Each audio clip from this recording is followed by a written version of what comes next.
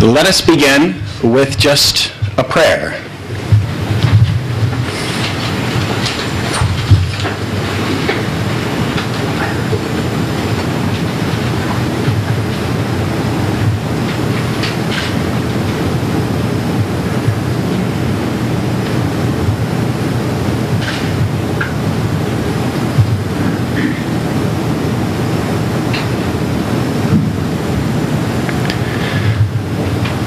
Loving and compassionate God, we stand before you in silence, beseeching your help. Enfold us in your love tonight. Give us your wisdom. Help us to find you through the wisdom you have given all of your children.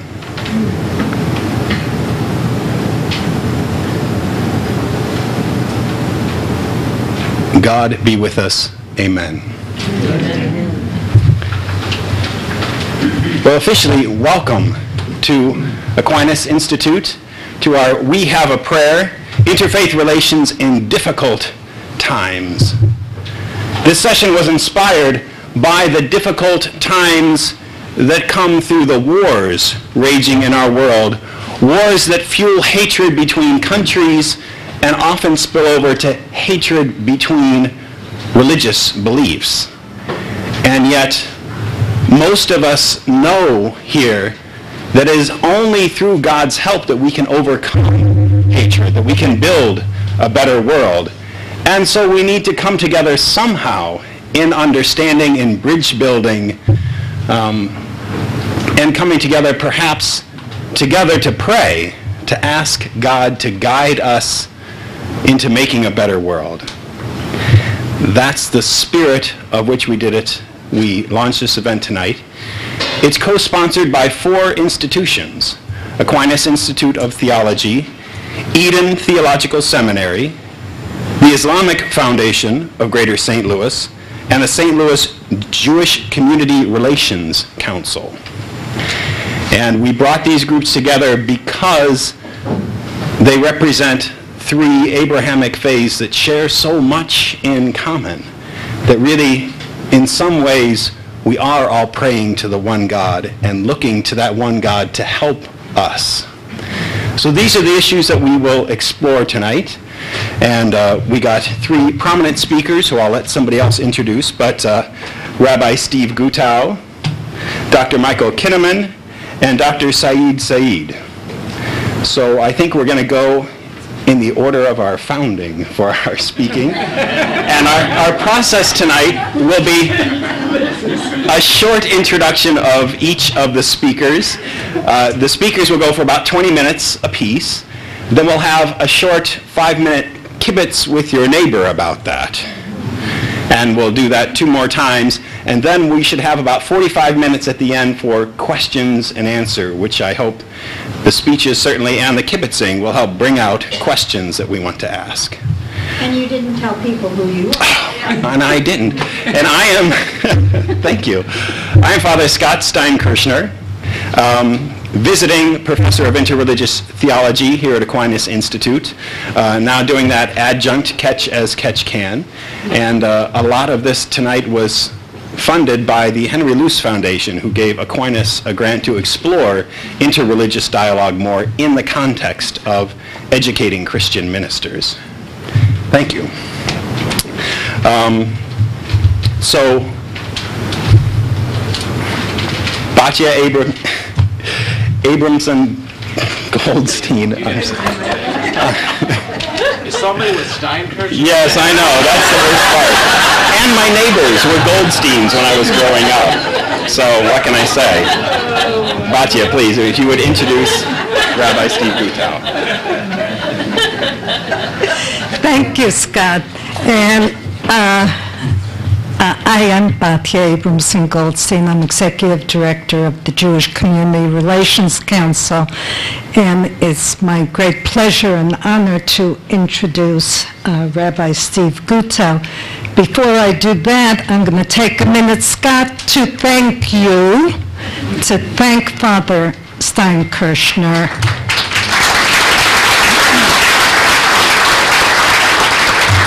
whose presence has enriched St. Louis, and we are so happy that you are going to remain here.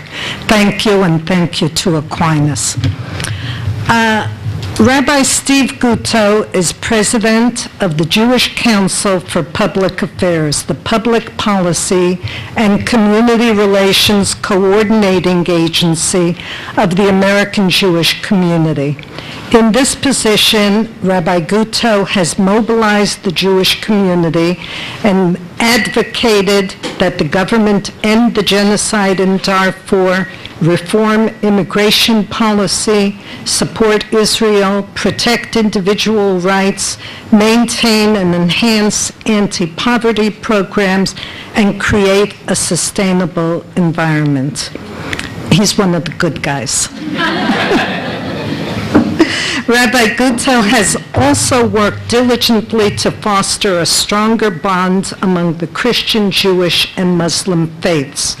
For his leadership, Rabbi Gutow has been named among the 20 most influential American rabbis by Newsweek in 2009 and the 50 most influential American Jews by the Jewish Forward in 2007. With Rabbi Gutow at the helm, the JCPA has become a central agency in combating hunger in America. In 2008, he challenged Jewish and non-Jewish leaders to join him in a food stamp challenge, committing to eat almost as only as much food in a week as could be purchased with $21, the average food stamp benefit. He has helped lead environmental campaigns, including A Light Unto the Nations, which called on Jewish individuals and organizations to conserve energy. His commitment to building interfaith bridges has helped create important milestones, such as the joint prayer that is our focus this evening. Steve Gutow is at heart a community organizer and has helped build grassroots coalition literally across the nation on a broad range of issues. Rabbi Gutow is both an attorney and rabbi. He practiced law in his native Texas, where he also served as chair of the Dallas Jewish Community Relations Council. Uh, he went on to become the founding executive director of the National Jewish Democratic Council. He was ordained by the Reconstructionist Rabbinical College in 2003 and this is the St. Louis link. He served as a pulpit rabbi at the Reconstructionist Minyan of St. Louis, where he also represented the St. Louis Rabbinical Association on the Jewish Community Relations Council. At the same time, he served as adjunct professor of law at St. Louis University Law School, teaching a seminar on Jewish law. In workshops, speeches, and articles, he has addressed subjects including racial harmony, religious pluralism, and civil liberties, the safety and security of Israel, poverty, and health care.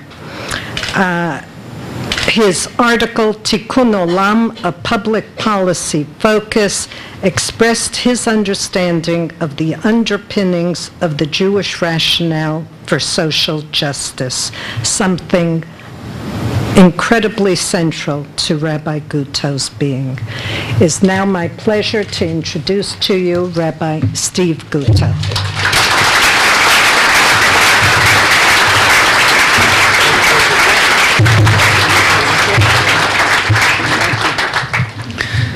Botch it. Well, I guess after that, I would just sit down because it's gonna, ain't no way it's not gonna go down from here.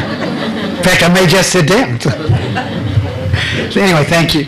I want to thank um, the Aquinas Institute of Theology and thank you, Scott. You've done remarkable work uh, over the months that we've been pl- playing around setting this up. Thank you. I want to thank Eden Seminary. I want to thank the Islamic Foundation of Greater St. Louis, and of course, the St. Louis Jewish Community Relations Council. Um, And I guess, I didn't know that till I walked in here, Henry Luce. I never thought I'd be thanking Henry Luce, but thank you wherever you are, Henry Luce. Um, And of course, my, you know, feelings about Batya and David, where's David? Over there. And Ghazala, who I've just met, who I know have had a lot to do. Oh, there you are, not not in that room. Um, Anyway, thank you. Uh, Batya just described a little bit about JCPA, but what we are is an umbrella group that represents 125 Jewish Community Relations Councils, like the one you have here. Of course, the one you have here is spectacular, but some of the others are good or also. And also 14 national Jewish organizations, including um, the ADL and the American Jewish Committee, and I'll, I'll skip some because I'll just forget them, but National Council of Jewish Women and Hadassah, and um, the four major streams, uh, the Reform Movement, et cetera. In fact, today we had a very important moment in that our chair, who is from Dallas, actually, which is where I'm from, she was one of the small number of people who met with uh, President Obama. There was about 15 Jewish leaders in the, uh, in the White House, and I'm really pleased that Andrea was one of them. And I wouldn't feel too comfortable starting without telling you a little bit about my experiences here. Yeah, I was a rabbi for the Reconstructionist Synagogue, um, and I know it's new rabbis in this room.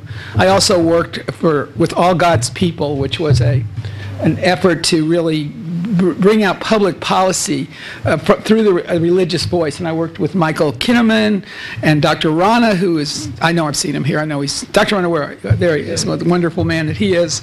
Um, I had uh, great experiences just driving around on my little bike, which I loved, uh, Forest Park or the Central West End or your city is a, just an amazing town, and I, I have great, great memories.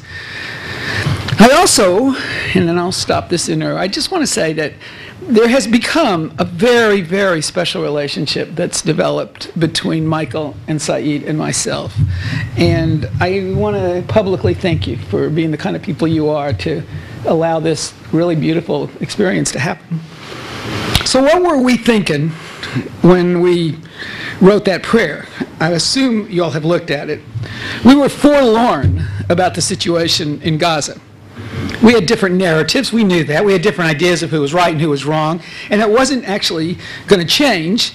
And we knew, since we couldn't get beyond that, that we needed to go somewhere higher for an answer or whatever, deeper.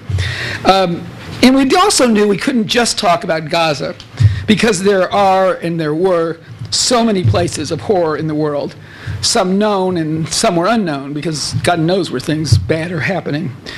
So it wasn't all, that complicated. I mean, people, how did it happen? We called each other on the telephone. Michael, who's really good with prayers, wrote a draft. And uh, we all just felt, we, you know, we talked about it a little bit, mostly it was just a good draft. And we all felt it was time to reach up and reach out and tell all our people that we felt something had to happen for above, from above. And it had it had great resonance. I mean, I speak in a lot of synagogues and churches, and uh, not too many mosques. Maybe you'll we can remedy that. And um, people often, you know, I was just shocked. They would take out this prayer. They must have got it off the internet or something. But people knew about this prayer that we'd written, and I was just like, wow. And they'd read it, and you know, we talked deeply. We talked about Afghanistan and Darfur and Burma and the Congo and Sri Lanka and the Middle East, and we talked about the need to seek peace and the need to do it in our own voice. And I'm taking no credit, but because the situation in Gaza is still bad, but the war's over, so it had some, maybe had some good, some good. The most important thing to know, and we all know that, we for sure, prayer is not enough. Uh, we knew that, but still we decided to start there. There are two Jewish principles which I believe probably apply to both to all the religions in this room and certainly to the two, your two religions. One is we were all made precious in God's image, but B'Tselem Elohim, in the image of God in Hebrew. We're immensely valuable. We all have great dignity. Each human being does, and that was principle one. In principle two, and we're all called by our covenant, by our deal with God, our agreement with God, uh, to take a role, to, to, to, to work with what God teaches us, but to stop oppression and evil and poverty and hunger and sickness in this world. So, in other words, we all have work to do. None of the three of us were ever assuming that prayer is an end in itself, but rather it's a place of deep connection from which we can begin to find good endings because we open ourselves up into all that love. Um, there's a story about, about about how God does prayer and God takes prayer. You know, there, and, and, I'm sure you've heard it, but you know, when you come to a speech, you get to hear it again. Uh, there, there, was a flood in some town, and this family gets up on the, the roof because they're very God fearing, and they get up and they start saying, "God, save us, save us, God!" And um, you know, they're looking up. A boat comes by and says, "Come on, get in, get in. Well, well we're going to take you to. We're waiting for God."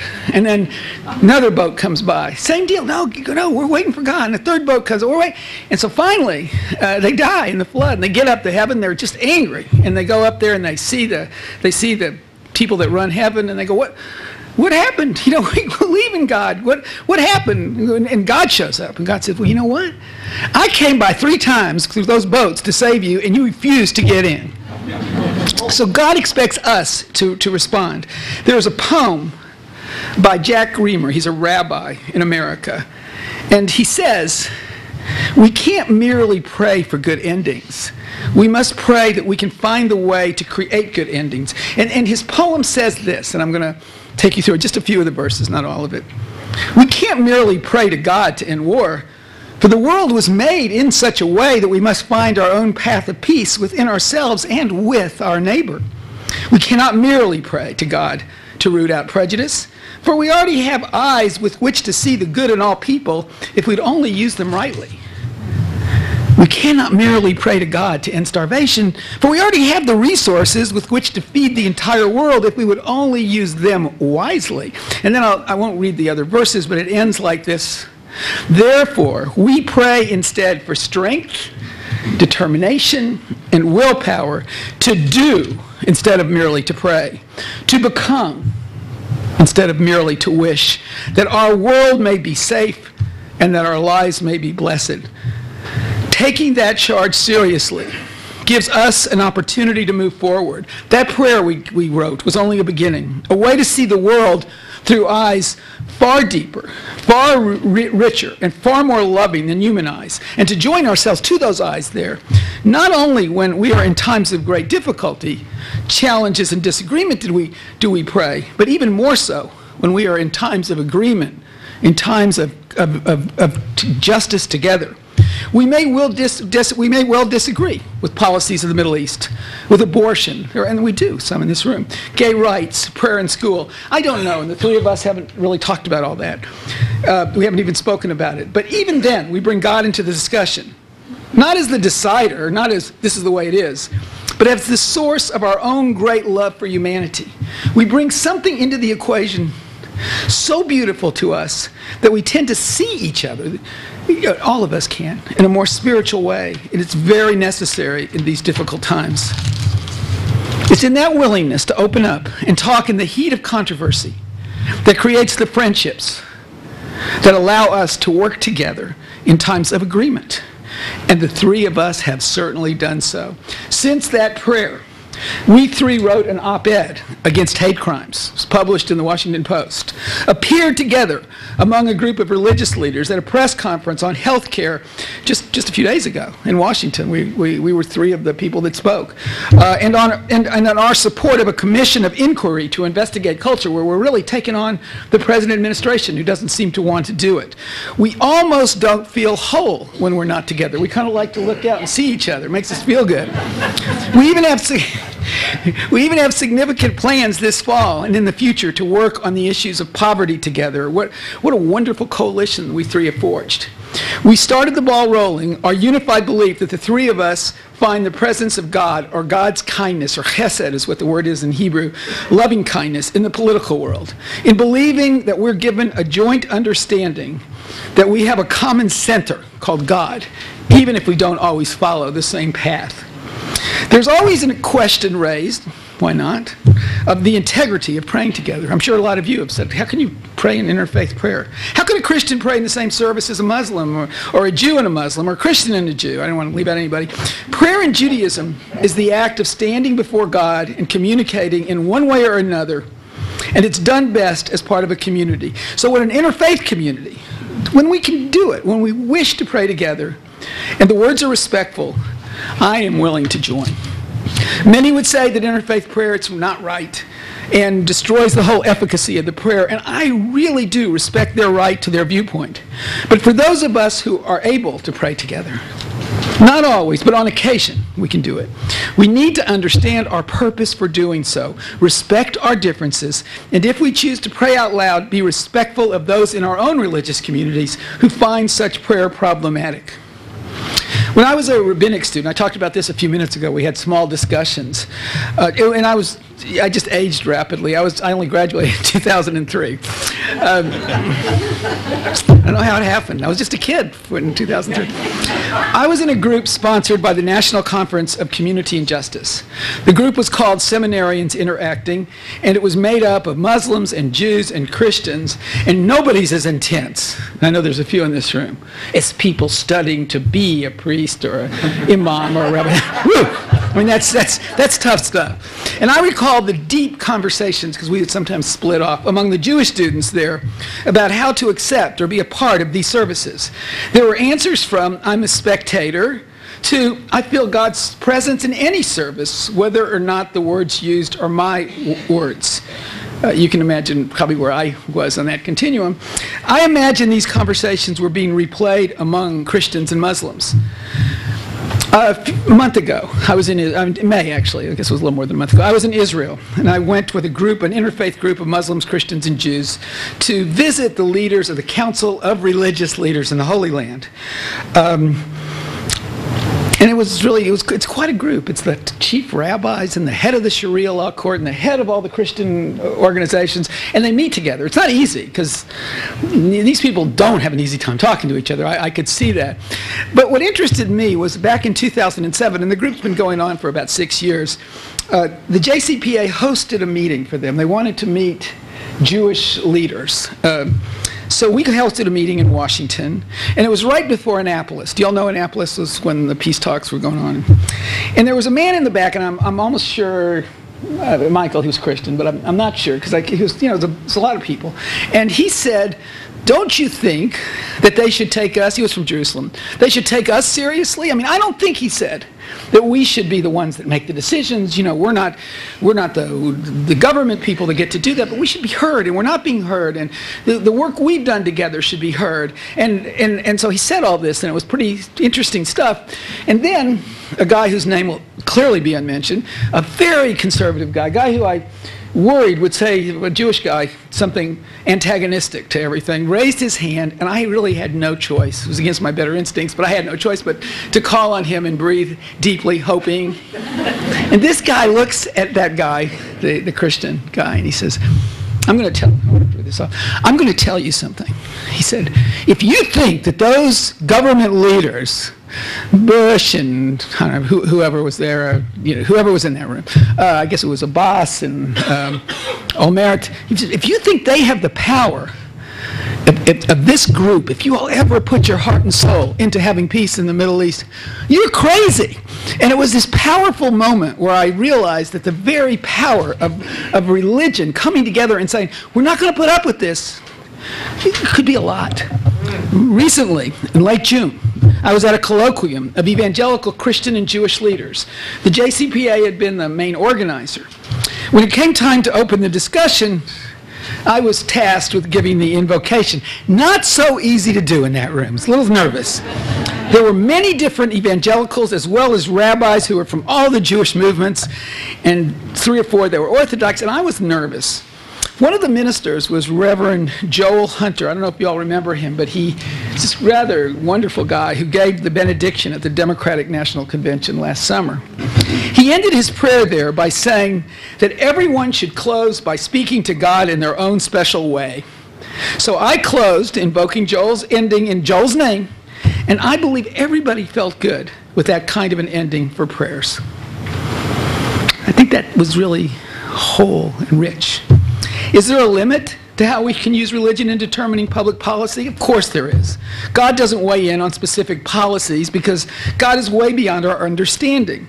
But when most of us look at our traditions, we know that helping everyone to be healthy and educated and whole human beings are what our texts teach us.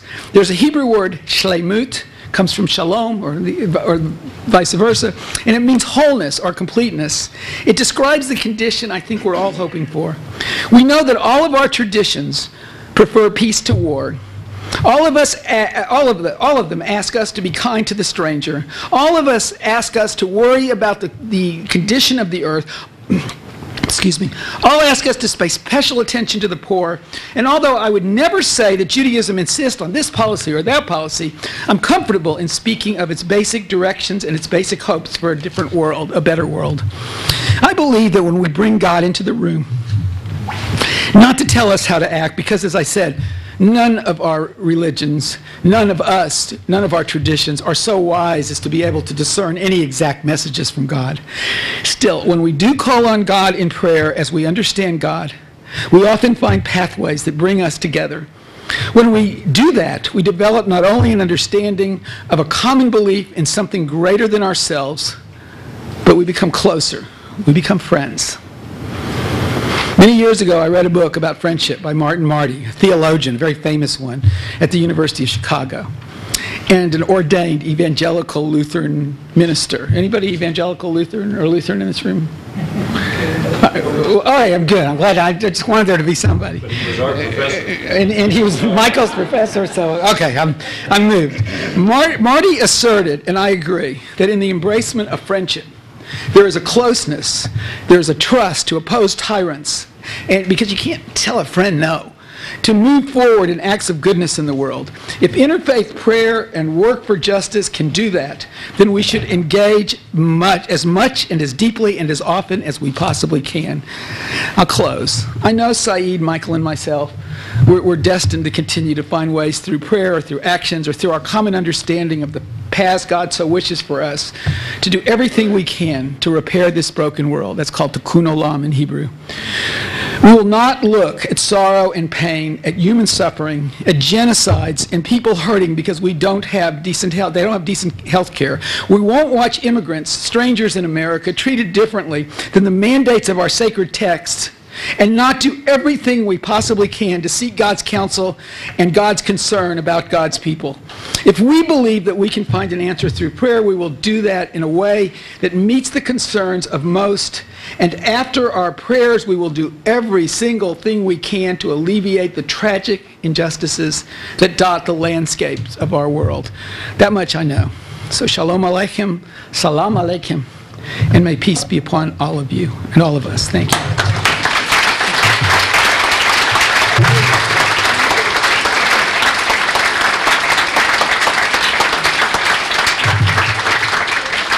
Now take two minutes of chaos talking to your neighbor next to you. What did you hear? What would you like to ask when we get to the question section? Welcome back. Uh, there is in the Christian tradition a thing called passing the peace, and once you start, no one ever stops. It's really so. Uh, we're glad to have you back. My name is David Greenhaw. I'm the president of Eden Theological Seminary, and it is my uh, privilege and pleasure to introduce to you Dr. Michael Kinnamon uh, this evening. Uh, Michael Kinnamon, for many of you, doesn't need much of an introduction because although he was only in St. Louis for eight years, he turned St. Louis upside down and on its ear. He was a whirlwind of activity in our community and immediately began interfaith conversations, speaking and addressing many people and bringing folks together. Dr. Kinnamon is uh, now the head of the National Council, General Secretary of the National Council of Churches uh, in New York City. Uh, a, an organization that represents a whole incredible broad diversity of Christian communities and uh, and is uh, and is incredibly helpful in that group. We we were fortunate, Michael and I, to to run into each other just about two weeks ago, and I heard stories about the work he's doing, and he's having people who have a hard time getting together, finding ways to get together. That's Michael Kinnamon's vocation. He does not allow us to talk to each other without speaking the truth to each other. He's willing to say hard words and come right back. And let you say hard words as well. This is hard when he says it to you. We were colleagues. It was hard. but it was also fair, always fair, always having the best interests of the other in mind.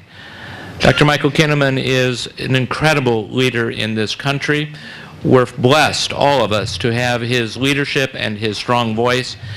And I know many of you in this room say with me how fortunate I am, how fortunate we are to have Michael as a friend. Michael, welcome.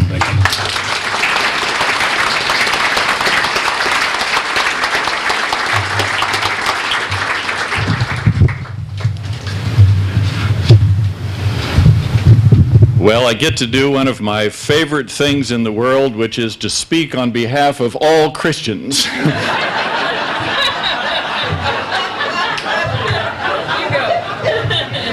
Hallelujah. It's great to be back in St. Louis. Great to be back in St. Louis with so many friends in this room in the midst of this tremendously vibrant interfaith community. What a joy it is to be here. And I want to say thanks not only for uh, the sponsoring bodies, but of course to Aquinas for hosting us here. They have been wonderful hosts, except when I asked them for baseball tickets for the All Star game. Scott drew the line, and um, I don't know, hosting stopped right at that point. It also is wonderful to be here with these very special friends, with Steve and Syeed. I just can't uh, share with you the joy it has been to work with them. I also was going to share what Steve did, which is to say that Gaza, Middle East, is by no means the only thing that we work on together. And as he mentioned, within just the last month, we have protested at the White House together on behalf of a commission of inquiry to deal with the torture perpetrated by this country in recent years and to say that the truth must come out about it so that it never, ever happens again.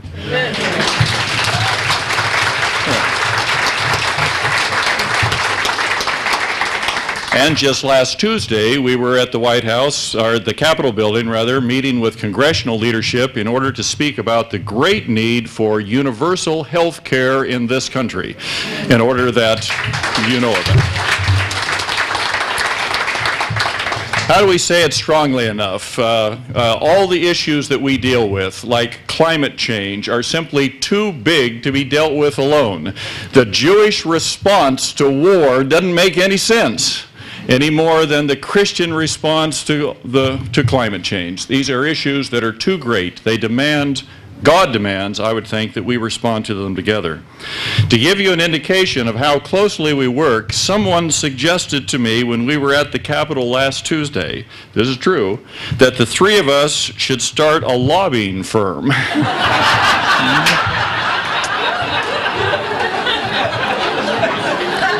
Syeed, Gutow, and Kinnamon. Has a ring to it, anything? So, mm, I don't know, that's all right. But in fact, friends, and I hope you agree with this, we don't lobby because lobbyists act on behalf of those with resources. We advocate, which is to say, we stand for those who don't have resources and who don't have lobbyists to work for them, and we think that's exactly the role of religion, and we hope that you agree.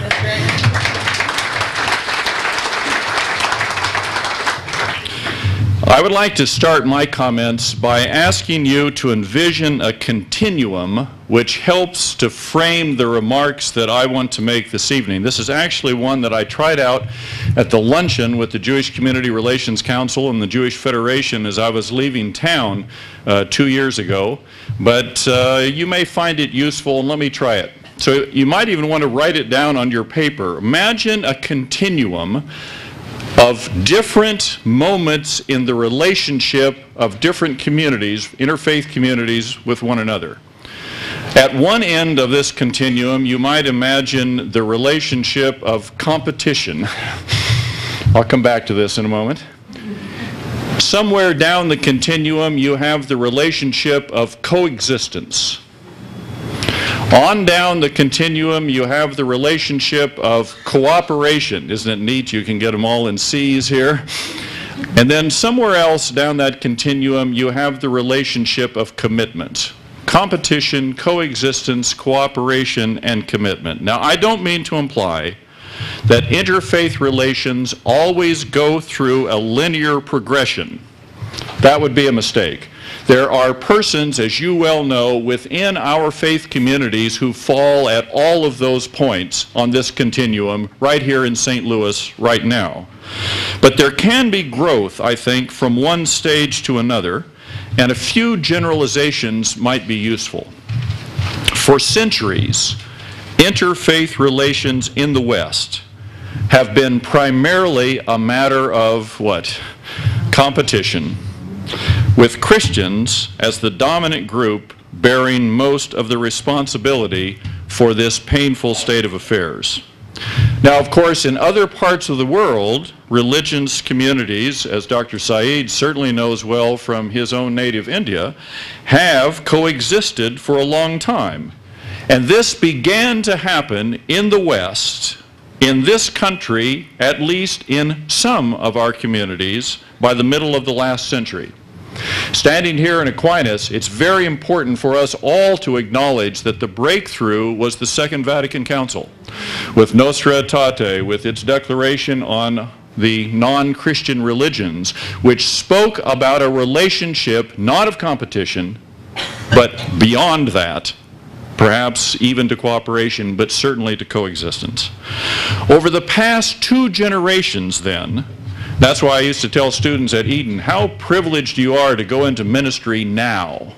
Because over the past two generations, some Christians, some Jews, and some Muslims, especially the first two, have moved to the level of cooperation with one another, often with the disapproval of their co-religionists. This, of course, is the great irony of the situation, that the closer we draw to one another, the more splits or divisions there often are within our own religious communities. It's clear, however, that cooperation can be disrupted by outside events. You with me? 9-11 disrupted some patterns of cooperation we had moved to that over the last two generations. But 9-11 disrupted some of those patterns of cooperation, especially between, I'll speak now of Christians and Muslims, just as the Palestinian-Israeli conflict has disrupted patterns of cooperation between Jews and Christians within recent years. How does the commitment stage differ from cooperation? Let me name three ways. First of all, if you're at the level of commitment and not simply cooperation, then we have gone beyond trading information, getting to know you, to a willingness to learn from one another in ways that enhance our own faith. Am I making sense? It's one thing to say, we're going to tell you about our faith and to receive from you information about yours. It's another to say, we might learn something about the nature of God and God's purposes by our encounter with you. I have taught here at Eden Seminary with Rabbi Susan Talve, Jewish Christian Dialogue course during the years that I was a professor at Eden. And during that time, we came to find that we learned from one another in very profound ways. Uh, she would speak about um, uh, the deeds that humans do drawing God into the world, which felt to me like works righteousness, human-centered. And I had to realize that part of my faith was also the response of humans to God's initiative, otherwise I hadn't spoken the whole of it. Am I making, do you see what I'm talking about? We can learn from the other at that stage of commitment. A second thing is that at the commitment stage, we go beyond periodic cooperation to a sustained recognition that mission demands the other. If we were serious the National Council of Churches about this, for example, we wouldn't simply invite Dr. Syeed and Rabbi Gutow to come as observers to our assemblies. We would insist that they be there because our mission as a national council would be incomplete without the work of their bodies. Third, however, if we were at the stage of commitment, then we would be able to stay together even in the face of great disagreement. In other words, there's a real difference on this continuum, I think, between being at the stage of cooperation where we act together and being at a deeper stage of commitment where indeed we're marked by these characteristics. I would say that Steve, Syeed, and I have reached a level of commitment beyond cooperation, even though, I'll see if they nod, our organizations aren't always there. Let me offer now four principles or characteristics which I think are associated with interfaith commitment. So if we're to move from cooperation to commitment, these are four broad principles or characteristics which I think characterize it. First of all, there is simply no substitute for knowing one another as friends. Commitment is based on and expressed through friendship. Our National Council policy statement on interfaith relations says that all relationship begins with meeting, with getting to know one another as persons of faith. Of course, the people in our religious communities do know each other in other settings in work or in school. But there is an essential role for groups like Interfaith Partnership in enabling people to know each other as believers and thus to grow as friends from different religious communities. Um, your dialogue groups through interfaith partnership are a wonderful way for that to happen. Last night we were talking with David and Joyce Sternick about the group that includes Howard, I think is part of that, and the Willicks, Barbara, and uh, Mike. They are committed through friendship in a way that I suspect, see if Howard nods, would hold up in difficult circumstances. No question. Now, of course, familiarity, while it usually doesn't breed contempt, doesn't always lead to friendship. That may be my understatement of the evening, but you get the point. But in our case, it has, and that has enabled us to stay together and to pray together, even though we didn't see eye to eye with regard to Gaza. Steve, I think, thought that the incursion was justifiable in light of rocket attacks on Israeli settlements. I found it to be an overreaction. You hear the problem that we had in trying to deal with it. Let me add, there is an obvious distinction between interfaith relations and interfaith dialogue. Interfaith dialogue is sustained conversation aimed at sharing our faith-based perspectives as a, on a common topic in order to arrive at a deeper understanding. By interfaith relations, I take it, we mean various forms of life together, including this kind of shared activity for justice, through which persons of faith and their communities gain deeper appreciation for one another. Now, this is where it gets interesting because interfaith dialogue can provide a foundation for better interfaith relations. But solid interfaith relations can also help dialogues persevere even when the going gets tough. The JCPA, Jewish Council on Public Affairs, and the National Council of Churches are the main sponsoring bodies for a Jewish-Christian dialogue table that has wouldn't you say, practically ground to a halt over disagreements regarding Israeli-Palestinian conflict. Practically for sure. Practically for sure. Not long ago, Steve called me at home, and he said, I'm quoting, your boys are acting badly again.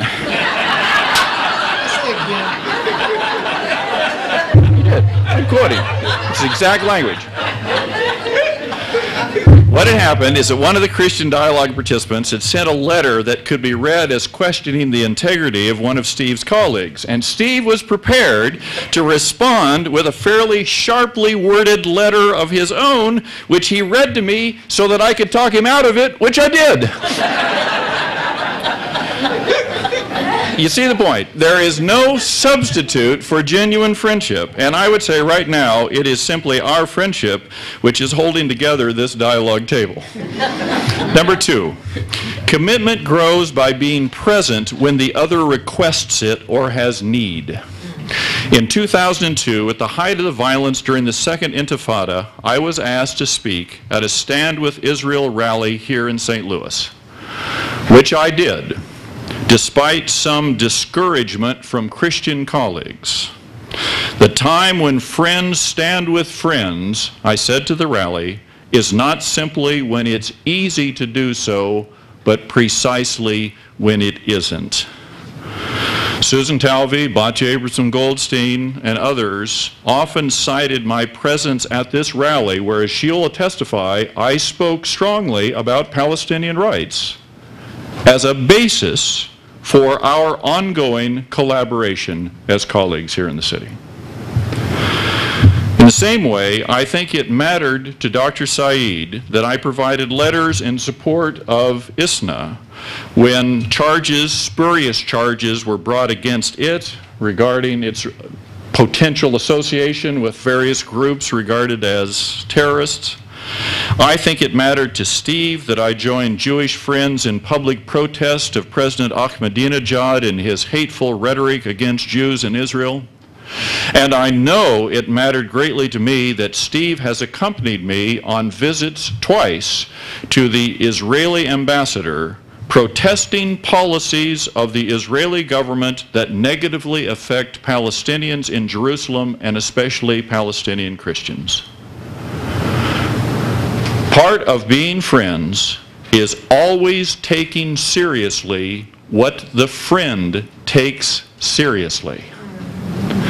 Steve took the Christian situation in Jerusalem and the West Bank so seriously that as an observant Jew, he twice returned on trains to New York on a Friday evening because it was more important for him to stand with me. What do you think I'll do when the next situation arises? Boy, this makes a difference. Number three, closely related. Commitment grows when we are sensitive, as sensitive as possible, to the fears and pressures that weigh on the other partners. It isn't possible for me to fully comprehend what it feels like to be a Muslim in this country at this historical moment. But that, of course, is no excuse for not trying. If, God forbid, there is another attack on the United States and it is associated with Muslims, our staff at the National Council of Churches is already prepared to mobilize the churches to act and speak in support of Muslim neighbors, and I have no doubt in my mind that Steve and the G JCPA will do the same. In the same way, disregard for Israel's welfare would be incompatible with any genuine concern for the Jewish community. I hope that Christians will speak out on behalf of Palestinian rights and on behalf of a viable independent Palestinian state. And this may well mean criticism of some policies and actions of the Israeli government. But if we would be at the level of commitment, then such criticism must be set within an affirmation of Israel's right to exist in peace and security. Prior to the fighting in Gaza, I should have spoken out I should have spoken out about the missile attacks on Israeli towns. And the fact that I didn't undermined my moral authority once Gaza began. By the way, one of the things we need to be sensitive to is the fact that our partners here at hand have co-religionists to whom they are related and to whom they must listen in other places. I have had Jews ask me why Christians are so exercised on behalf of Palestinians when you don't have a dog in that fight. But as you're all aware, that's not true. Just as American Jews are attentive to Jews in Tel Aviv, and American Muslims are attentive to Muslims in Damascus, so American Christians are attentive to Christians in Ramallah. Friends, take this into account. And fourth, commitment to one another, even in difficult times, demands acting and speaking with integrity. It would never do for me to say one thing to Steve and another to Syeed. We need to trust that the other is consistent, which can be a value of gatherings such as this one, because we have to say it with them sitting right there. do I have two minutes left, Scott? I want to say a final word about prayer. No one wishes for difficult times or for moments of disagreement, and it isn't possible, it isn't appropriate to speak about silver linings when people are being hurt. Amen, I hope you feel. But at such times, since we can't revel in what we accomplish, we can be driven back to the heart of our faith traditions. It might just be that in such moments we come once again to the foot of our God. Prayer, as I see it from my Christian perspective, focuses on God and thus moves us beyond ourselves, our grievances, our disputes, relativizes our positions by reminding us that God alone is sovereign, reinforces our interdependence as children of one Creator, and engenders hope that our tensions are by no means the final word on reality, that we live toward God's future. Very important to remember that the ecumenical movement, a Christian ecumenical movement, ha has always said prayer is at the very heart of our effort to come together as Christians. That has been the message, especially of the Roman Catholic Church, from Vatican II down to the present. It is the message of many Catholic neighbors here in St. Louis. Jim and Kathy McGinnis, for example, of the wonderful Institute for Peace and Justice, have just printed a new book on praying for peace. No bigger activists grounded always in prayer, and that, of course, has been the teaching message as well of Sister Carla Mae Streeter here at Aquinas. The image which is often used in ecumenical documents is a simple one. Since God is at the center, the closer we draw to God, or better, the closer we are drawn to God, the closer we come to one another. Two final points that bear on our discussion. First, if we are to pray for and with one another, we need to know one another far better than we generally do. We should pray for and with one another regularly and in our totality, not just in moments of crisis, lest we be driven by the headlines in terms of how we pray. Clearly, we're not there yet. Second, prayer for and with the other is not, as Steve said, a substitute for practical acts of solidarity and common service. Rather, I think of prayer for the other, while addressed to God, also as a mobilization of our imagination and our will on behalf of the other. Prayer, as you all know, is not withdrawal from the world, but deeper engagement with it always with the focus on God. I thank you for your presence here and for your attentiveness tonight.